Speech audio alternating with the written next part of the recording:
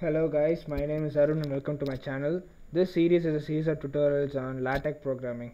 Now, in this tutorial, we will be looking at uh, some uh, compilation notes and uh, compilation notes, some uh, gentle things you have to keep in mind while writing, while looking at the while looking at the commands and all.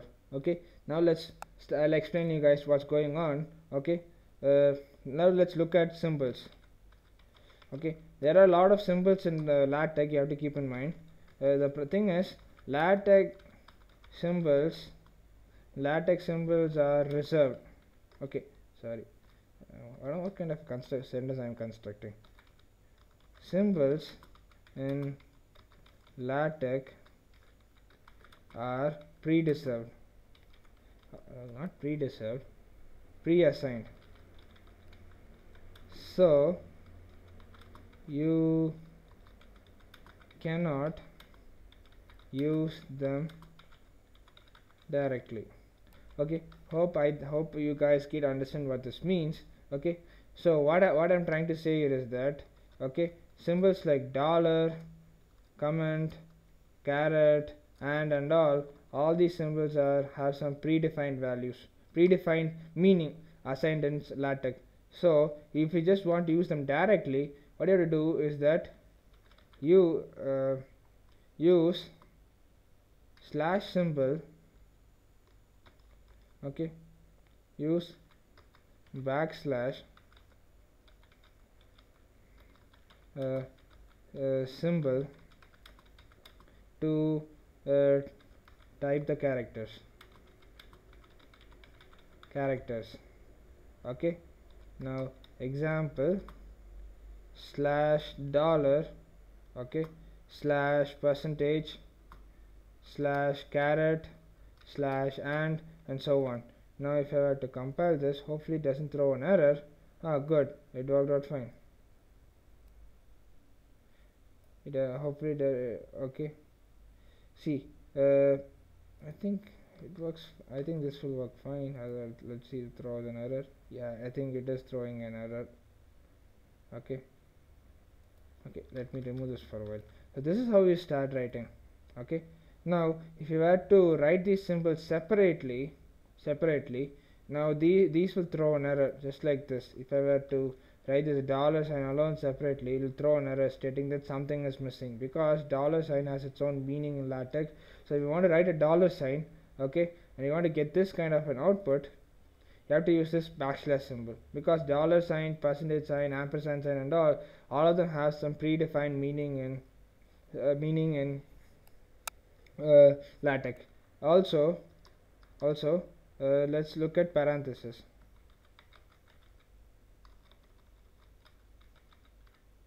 okay I think that's the spelling. Yeah perfect. Okay uh, circular brackets. Circular or round brackets do not have any meaning. Do not have any meaning. So you can write them directly and I think you won't have any you don't, so you don't so you can write them directly okay? Square brackets square brackets have meaning? In uh, meaning in comments but they can stand alone. Stand alone. Okay? What I mean is if I just write brackets they'll just work nicely. Okay?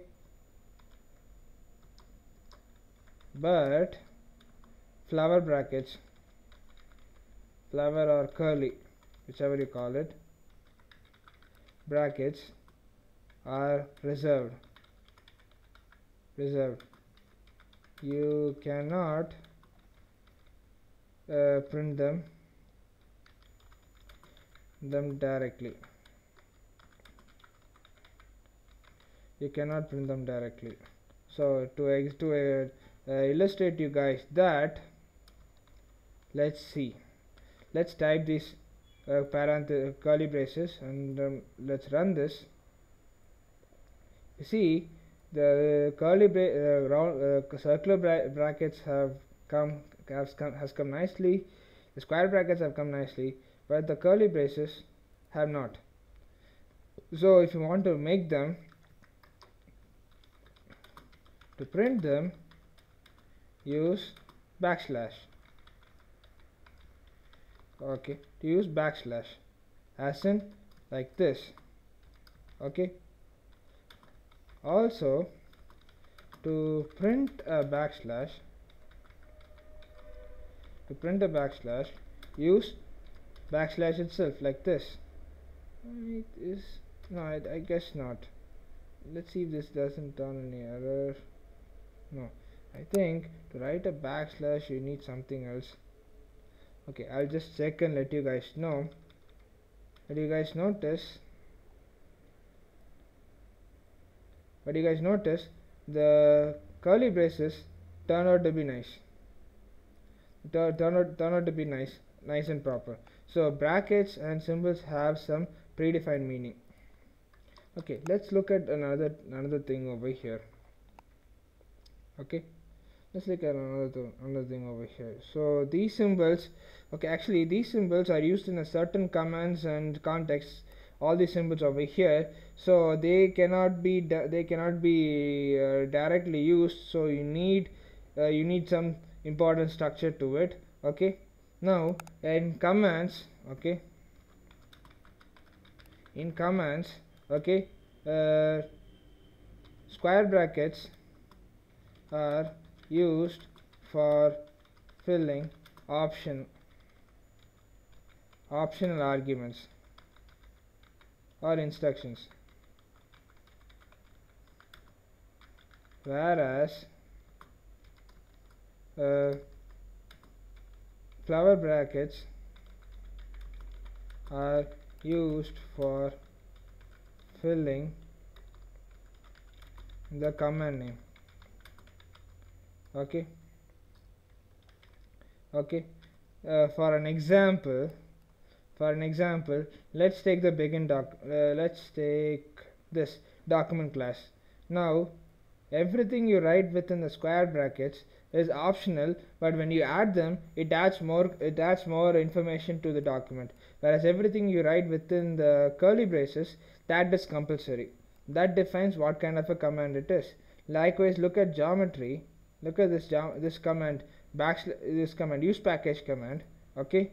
Uh, geometry is the package name okay? Whereas everything you write within the brackets are not necessary or optional but when you write them it modifies it overwrites the predefined values in geometry package and uh, and uh, it just predefined pre I mean it overrides the predefined pack contents in the geometry. That's it. Likewise it's applicable for all of them. So okay. So uh, so uh, use package commands. Let me write this over here. Are used for including special packages into the file they add more features to the document. Okay. Sometimes if you want uh, I mean sometimes you want certain mathematical symbols to be present and all they they I mean you, you have to import them using use package methods. Okay. And then and then one one last thing. The document structure is as follows. Okay. Okay. Uh, document class. Okay. Uh, packages. Use packages. Okay. What else? Okay. Uh, let me just think about it. Okay. Uh, definitions and macros. Definitions and macros. Title page contents. Title page contents. This is the order you have to follow. And then document. Document beginning. Document ending. Ending. And then contents of the documents contents of the documents and extras. Uh, IG no, ignored extras. Ignored extras and that's it. Ignored extras. So this is how the doc this is how the document structure of any document like article report anything go, goes in latex. So if I were to compile this okay all this contents are written over here. All this contents are written over here. So you guys have a look at it. You guys can have a look at it okay? That's all I have for you guys in this tutorial. Uh, keep these things very very sharp and clean in your mind because these will be these stuff has to be uh, I mean you have to keep these minds in uh, keep these thoughts in mind or else you might get you might be little uh, uh you might get a little lost when you're working with some advanced advanced concepts and all. Okay? So that's all I have for you guys in this tutorial. Thank you guys for watching and I'll see you guys next tutorial with the next next important concept. So take care then